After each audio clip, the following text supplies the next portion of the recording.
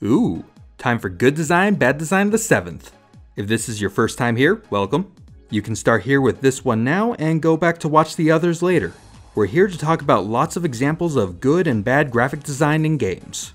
Things like menus, UI, camera work, color choice, font choice, animation, character design, the presentation of information. There will be good games with bad graphic design, and vice versa. But first, a quick word from today's sponsor, Skillshare. I've been using Skillshare for years now, and I've gotten so much more efficient at editing videos with the skills I've learned through their courses. Skillshare is an online learning community with thousands of classes on dozens of topics. They've got a great set of motion graphics courses full of techniques that I've used to make the animations you see in every design doc video. There's more good stuff on video editing, animation, and graphic design, my favorites, but also entrepreneurial skills, photography, marketing, web development, and so much more. You can get access to everything with premium membership for just $10 a month, which is way cheaper and more convenient than in-person classes or workshops. You can try out with a free 2-month trial by signing up with our link below. Good design.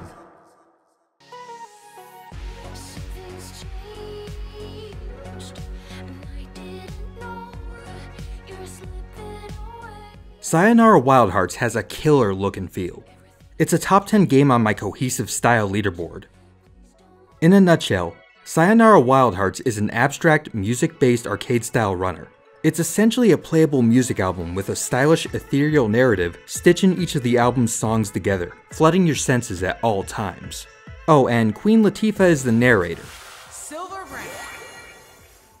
Sayonara Wild Hearts' gameplay is on rails, which really makes the playable music video theme possible. Every camera angle, every action beat, every scene transition is intricately tied to a level song.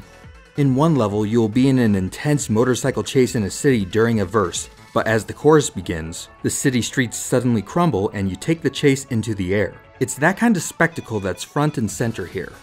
The game's flashy style is always on the verge of overwhelming your senses, but the game does a few things to keep it manageable. Wild Hearts only uses two inputs the directions for movement and timed button prompts. The game keeps shifting what it will ask you to do. In some stages, you're only moving left and right, in others, you have full 360 movement. Sometimes you're drifting in a car, and sometimes you're targeting multiple enemies like in Panzer Dragoon. There's a lot of contextual variety, but you're always weaving through obstacles, grabbing as many collectibles as you can for a higher score, with only a few simple mechanical tasks to think about at any time. The collectibles themselves all meld with the visuals as well, and help keep the player focused on the game's sights and sounds. Wild Hearts is able to get away with the intense visuals partially because of how simple the core gameplay is. The more complicated and demanding the game's mechanics are, the less a game can dazzle with graphics without overwhelming the player or letting the graphical effort go to waste. There's only so much of a player's attention to go around. Think of games like Rock Band. The mechanics of playing the instruments can be very demanding. Players get tunnel vision when focusing on their track of notes. It's very common for a player not to see what's going on in the background at all. In a game like Sayonara Wild Hearts, whose core is so focused on pairing visual style with music, a complicated set of mechanics would undercut what they wanted the player to focus on. By dialing down the gameplay knob, the designers at Simogo freed up the attention of the player that let them take in the must-play audiovisual experience of Sayonara Wild Hearts. Bad design. Some games like to hide secrets. Sometimes, like in Metroid and Zelda, hidden things are core to a game's design. But there's a trick to designing secrets and hidden things. If you hide them too well, no one will find them. They might as well not be there. If you don't hide them well enough, well, then they aren't really secrets now, are they? So how do you communicate a secret?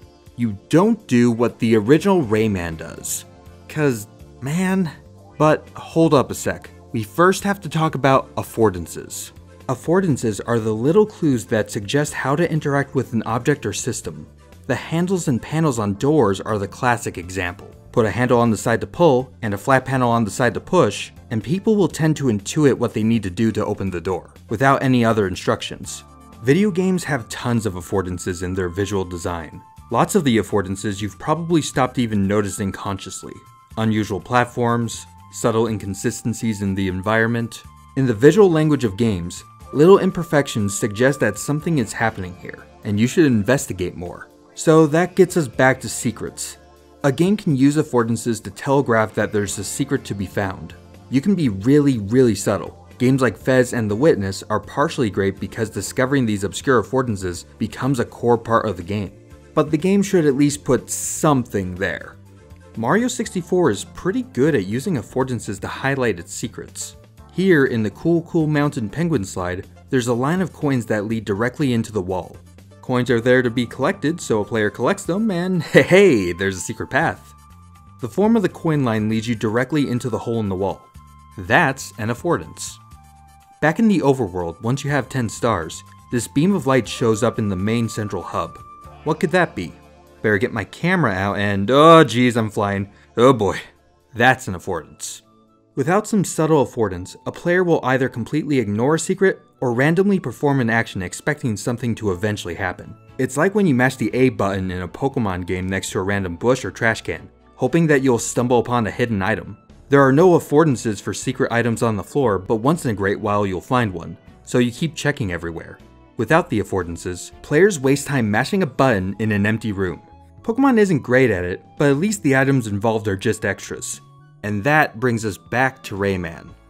Rayman is divided into stages, and your job is to travel through each of them and open the cages you find along the way. Punch the cage, and you liberate the Electoons inside. There are six cages spread out over a handful of sections in each stage. Hope you can find all of them, because you have to. You have to find every cage to unlock the final level. It's not like you get a bad ending or anything if you can't find them all. You just do not get one. So they're just scattered throughout the worlds, right? How hard could that be? Oh, it sucks. A big chunk of these cages are invisible, at least until you find the right trigger. What is the trigger? Wouldn't you like to know? There are invisible triggers everywhere in this game. Some of them hide deadly hazards that pop out 2 feet in front of you. Some make the actual route to the end of the level appear, out of nowhere. And some, like this one, make those missing cages appear. Your only clue that a trigger was tripped is that one musical cue. It only plays once and it doesn't tell you what happened. You figure it out. My favorite is this one from the first Bandland stage, where there's a trigger behind the goal sign. It spawns a cloud behind you off screen and leads you to a hidden cage. Rayman gives you almost literally nothing to go off of. Nothing about where the secret trigger might be located, nothing about how to trigger it, nothing about how it reveals things that are necessary to get to the end of the game, and nothing about where the secret will appear. By providing almost no information about its secrets, the first Rayman is a case in point of the importance of affordances. Good design. Every game has to teach something to the player.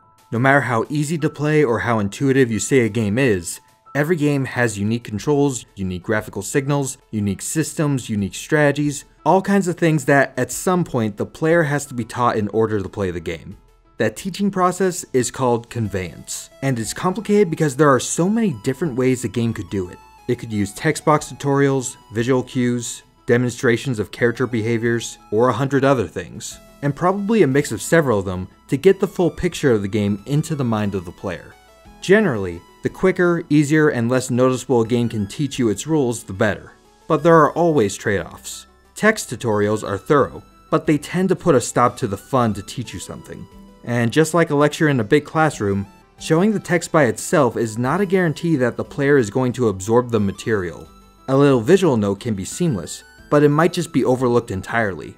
It's surprising sometimes how obvious you have to make a point for it to actually get through to someone.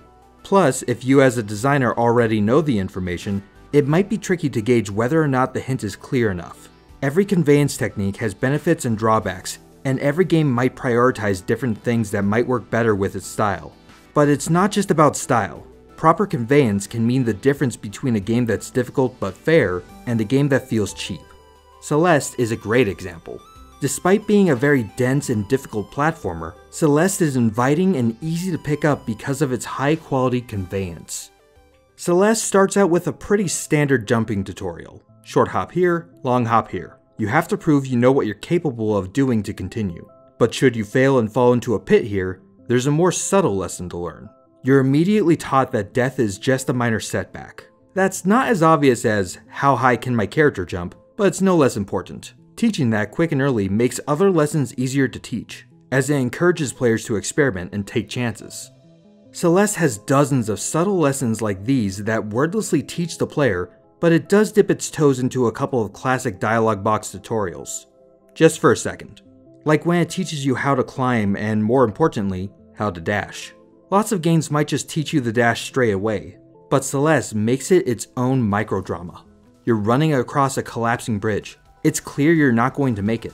You desperately jump to the other side and then.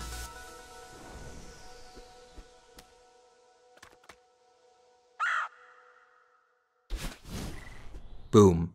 Lesson learned. They could have taken a more direct, intrusive approach. That little bird from the climbing tutorial could chime in with a short paragraph on exactly how your dash works.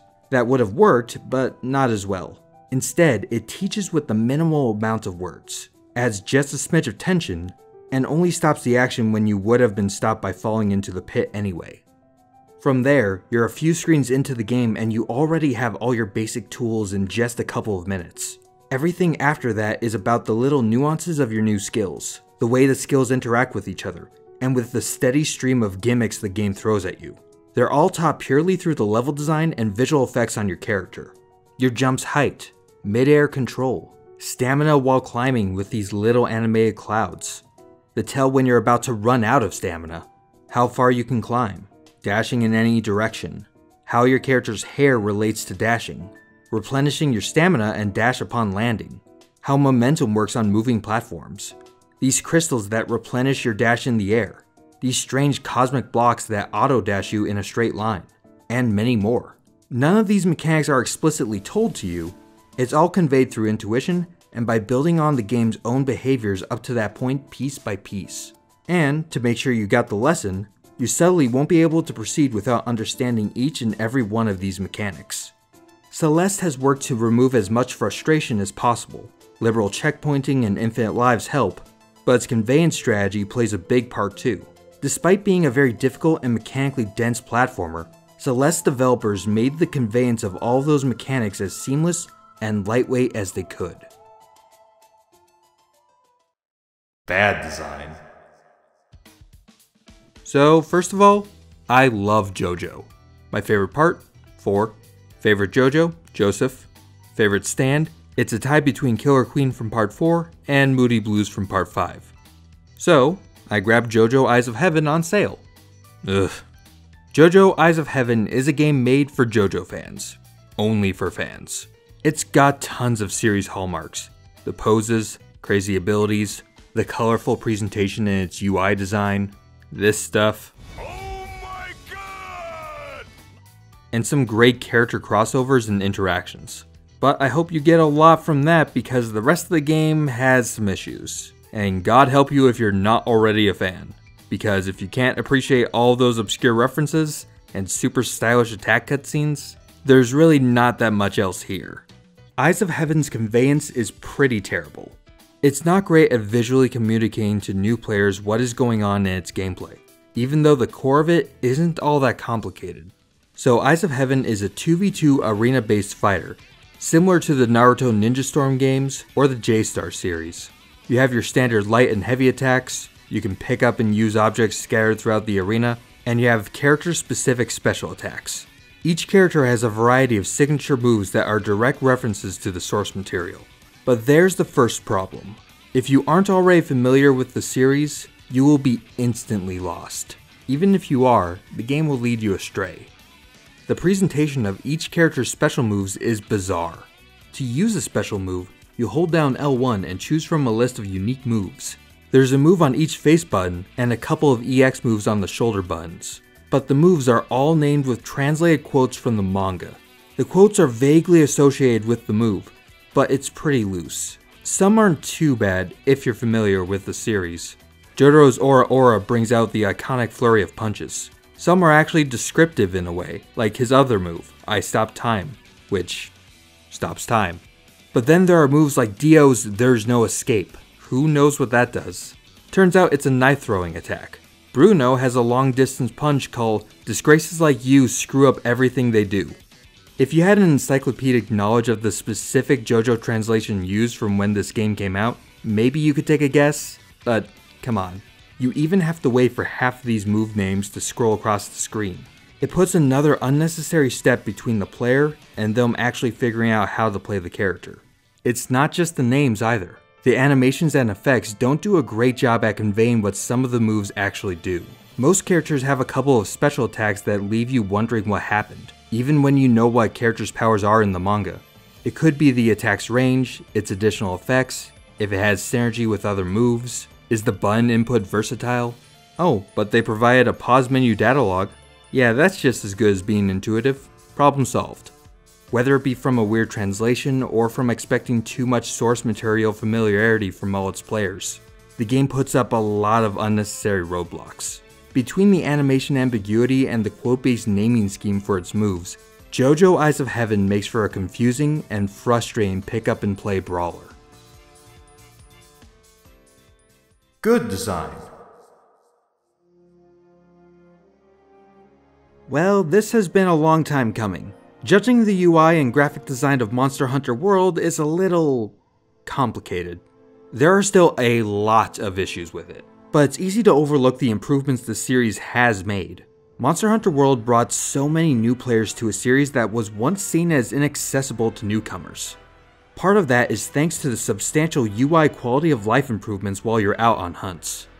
The new Scout Fly system improves monster tracking by a lot. When you first search for a monster, you have to find its tracks. The more tracks you find, the more you'll improve your Scout Flies, which help lead you towards the target and highlight other collectibles. In previous games, you had to blindly wander through each area until you got a sense for each monster's movement and where their habitats were located. The Scout Flies and the open sandbox design of the map streamlines the process and makes repeating hunts way less tedious. As you hunt each monster, you will raise your research level on that specific monster, giving you the monster's weaknesses, drops, breakable parts, and more in the new in-game bestiary instead of making you look it up in an online guide. All sorts of other feedback is improved in World 2. Colored damage numbers tell you how effectively you're attacking the monsters. White for ineffective attacks, orange for weak spot hits for full damage. They're small so they don't feel intrusive, and if you're a bit of a purist and don't want this information, you have the option to just turn it off. The HUD is clean, and packs a ton of information in the amount of space it uses. Health, stamina, timer, weapon sharpness, a detailed minimap, the cool icons for each monster in this neat tribal style. I even appreciate the little controls cheat sheet in the top right corner. It helps newer players try out new weapon types, and the attack options even keep up with the weapon attack context changes. These changes aren't geared for the hardcore series fan, so it makes sense that some of them wouldn't necessarily like it. The argument goes that limiting the amount of information will force players to get better at the game, that putting in the info makes the game do the work for you, and that new players won't be as engaged in combat if they can just use the new info as a crutch. But I don't agree that that's a problem. That's not why I come to Monster Hunter. The monster hunting experiences, and the hunts remain as engaging as they ever were. And now, more people are able to see them for the quality gaming experiences they are, without a lot of the crud getting in the way, hiding what Capcom has been able to make. Bad design. You didn't think I'd go that easy on Monster Hunter, did you? Of course, there are plenty of things the series could still improve on. My top priority would be to streamline all the prep work you have to do before you go on hunts. Not removing it, streamlining it. The menus and hub make prep way more convoluted than necessary. All I want to do is kill this beautiful creature and turn it into a little hat. Maybe some boots. Is that too much to ask? Astera is the main hub of the base game, and I don't like it. Hub areas that act as diegetic menus can be a fun way to make the world feel more immersive, at least until the novelty wears off. Astera is broken into two floors. The quest board and item box are near the trade yard, right next to the entrance, which is fine. The rest of the commonly used facilities like the workshop used for crafting and the canteen used for temporary bonuses on your next hunt are placed too far away for how much you'll use them. They're on the second floor which means at the start of every quest, you have to walk through the trade yard to either go up these winding stairs or take this chain lift up to the canteen.